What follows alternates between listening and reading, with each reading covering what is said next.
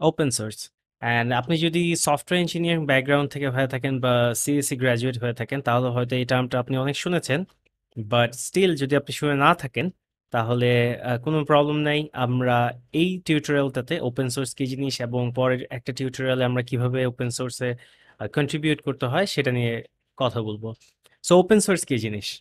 আমরা যদি সিম্পলি গুগলে যাই অ্যান্ড গুগল করি অ্যান্ড আমরা লিখি হোয়াট ইজ ওপেন সোর্স তো আমরা আমরা যে কোনো কিছু অ্যাকচুয়ালি গুগলে সার্চ করে একটা হ্যাবিট করে ফেলব। তাহলে যেটা সুবিধা হবে যে, আপনি এটা করতে করতে আপনি হচ্ছে আইডিয়া চলে আসবে যে কোনো প্রবলেমের সলিউশন কীভাবে গুগলে সার্চ করতে হয়।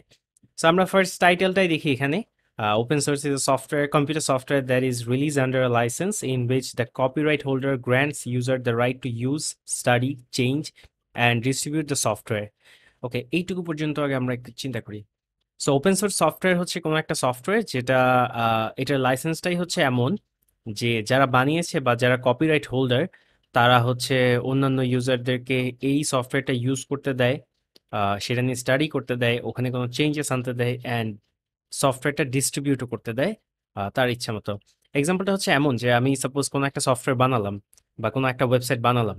দেন আমি বললাম যে এটা একটা ওপেন সোর্স অ্যান্ড দেন তাহলে যেটা আপনি করতে পারবেন যে আমার এই সফটওয়্যারটা বা এই ওয়েবসাইটটা বা এই কোডটুকু আপনি নিয়ে আপনার মতো করে ইউজ করতে পারবেন। আপনার মতো করে ওটা নিয়ে স্টাডি করতে পারবেন। কোনো চেঞ্জেস লাগলে চেঞ্জ করতে পারবেন। ইভেন ওটা মডিফাই করে আপনি যদি চান, আপনি সেলও করতে পারবেন।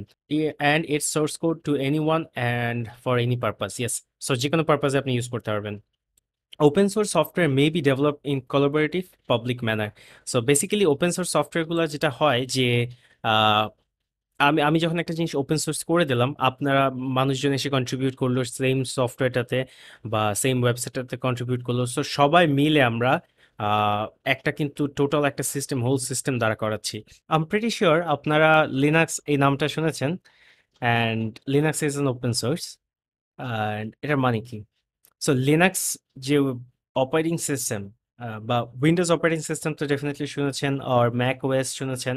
সো ম্যাক ওয়েস বা উইন্ডোজ অপারেটিং সিস্টেম এই সিস্টেমগুলোর এই অপারেটিং সিস্টেমগুলো যেভাবে বানানো, যেই সোর্স কোডটা এটা কিন্তু ওপেন না। That is Microsoft or Apple হচ্ছে এই সফটওয়্যারগুলোর কপিরাইট হোল্ড করে এবং কেউ এই সফটওয়্যারগুলো এডিট করতে পারবে না। But on the other hand Linux is open source তার মানে হচ্ছে আপনি এই অপারেটিং সিস্টেমের সোর্স কোডটা নামিয়ে আপনি আপনার মতো করে এডিট করে, আপনার মতো করে চেঞ্জ করে আপনি একটা নতুন অপারেটিং সিস্টেম পাবলিশ করতে পারবেন।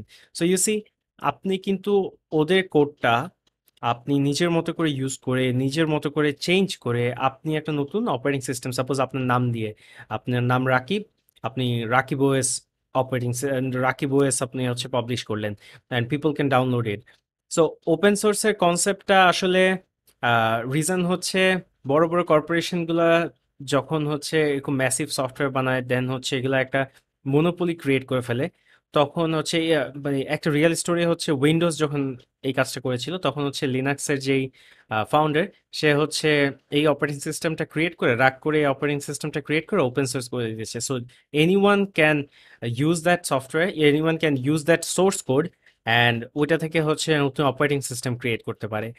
সো ওপেন সোর্সের একটা বড় সুবিধা হচ্ছে আপনি যদি একদম নতুন কোনো ডেভেলপার হন ফ্রেশ গ্র্যাজুয়েট হন বা ফার্স্ট টাইম শিখছেন, আপনি যখন জবে অ্যাপ্লাই করবেন, আপনার কোনো ওয়ার্ক এক্সপিরিয়েন্স নেই। সো টিমে কাজ করার এক্সপিরিয়েন্স দেখানোর জন্য বেস্ট ওয়ে হচ্ছে ওপেন সোর্স কারণ হচ্ছে আপনি যখন ওপেন সোর্সে কাজ করবেন আরও একজনের কোডে কাজ করবেন, অন্য একটা টিমের কোডে কাজ করবেন, যাদেরকে আপনি চিনেনই না, ওরকম একটা কোড বেজে যে অ্যাডাপ্ট হয়ে দেন, ওখানে কোনো একটা চেঞ্জেস দেয়া, এই এক্সপিরিয়েন্সটা কিন্তু কোম্পানিগুলো অনেক বেশি খোঁজে। কারণ হচ্ছে নর্মালি সবাই হচ্ছে পার্সোনালি কাজ করে বাট টিমে কাজ করার এক্সপিরিয়েন্স যদি আপনি কোনো কোম্পানিতে চাকরি না করেন বা আপনার কোনো টিম না থাকে আর একদম ওয়েল স্টাবলিশ টিম না থাকে, তাহলে open source is the best way কারণ ওপেন সোর্সে আপনি যখন কাজ করবেন, আপনার কিছু স্পেসিফিক রুলস ফলো করতে হয়, যেটা টিমগুলো ফলো করে। আপনার ভার্সন কন্ট্রোল সিস্টেম ইউজ করতে হয়। কারণ হচ্ছে না হলে আপনি কোলাবোরেট করতে পারবেন না। দেন রিমোট মানুষজনের সাথে রিমোট ডেভেলপারদের সাথে, যারা যারা আপনার আশেপাশেও নেই, অনেক দূরে, তাদের সাথে কমিউনিকেট করে আপনি একটা জিনিস ডেভেলপ করছেন।